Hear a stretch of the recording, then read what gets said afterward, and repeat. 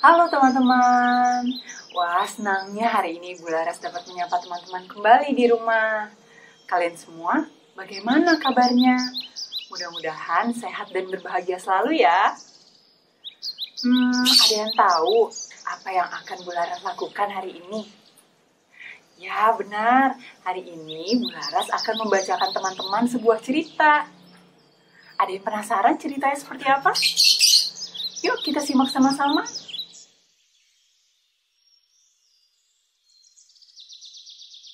Ada keramaian apa di hutan Papua?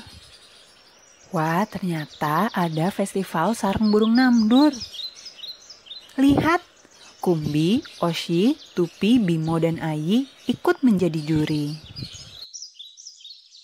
Wah, indah sekali sarang ini. Siapa pembuatnya? Aku, aku pembuatnya. Nama aku Amdur. Hei, Sarang itu juga bagus sekali, mirip dengan sarang andur. Apakah buatan andur juga? Bukan, itu buatanku. Namaku Anam. Sarang mana yang akan menjadi juara? Sarang andur? Sarang anam? Keduanya pantas jadi juara pertama. Bagaimana kalau diulang saja?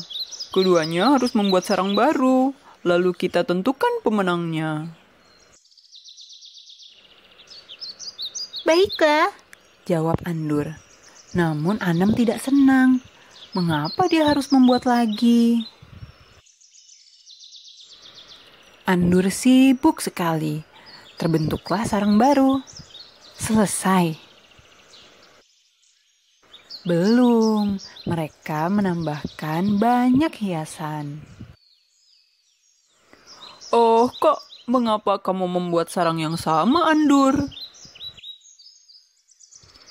Ah, tidak apa-apa kan? Tidak ada ketentuan yang melarang. Namun tiba-tiba... Aduh! Tenang, Amdur. Kami akan menolongmu. Para hewan datang menolong Andur untuk mengobatinya. Mengapa sarang Andur tiba-tiba roboh? Entahlah, jawab Andur. Seingatku, kakiku hanya terantuk sedikit. Kata Anam, hmm, caramu salah Andur. Tiang sarangmu tidak kokoh dan kamu memakai ranting yang masih basah. Para juri terkejut. Apakah Andur baru pertama kali membuat sarang? Anam pernah membuatkan sarang untukku. Itu yang kutiru. Andur anak jujur. Dia berkata sejujurnya. Karena itu, Anam akan mengajarinya membuat sarang. Nah, teman-teman, baru saja Bu Lara selesai membacakan cerita tentang burung nandur. Bagus sekali ya ceritanya, teman-teman. Nah, dari cerita yang telah Bu Lara sampaikan, kita bisa mengambil pelajarannya yaitu kita harus selalu jujur. Jika teman-teman belum bisa melakukan sesuatu, Teman-teman berterus terang saja jika belum mampu. Tidak perlu merasa malu ya. Kita hanya perlu berusaha lebih giat lagi agar kita mampu melakukan sesuatu yang belum bisa kita kuasai.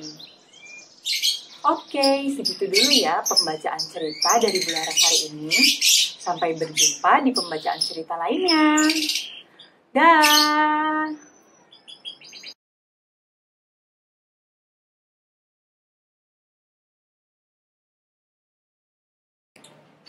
Hai teman-teman, pada kesempatan kali ini Bu Laras akan mengenalkan kepada teman-teman lagu mengenai capung. Kita simak sama-sama ya. Satu, dua, tiga. Capung terbang hingga di taman Bagai pesawat terbang di angkasa. Capung terbang ke depan, capung terbang ke belakang, capung terbang ke kiri dan ke kanan. Capung terbang ke depan, meliuk-liuk indah bagai pesawat sedang berakrobat. Oke, seperti itu lagunya. Sekarang teman-teman ikut nyanyi bersama Bu Laras yuk. Satu, dua, tiga. Capung terbang hingga di taman. Bagai pesawat terbang di angkasa. Capung terbang ke depan, capung terbang ke belakang, capung terbang ke kiri dan ke kanan. Capung terbang ke depan, meliuk-liuk indah, bagai pesawat sedang berakrobat. Wah, terima kasih teman-teman sudah ikut bernyanyi bersama Bularas. Gitu dulu ya perjumpaan kita hari ini dan bernyanyi bersamanya. Sampai jumpa di perjumpaan selanjutnya.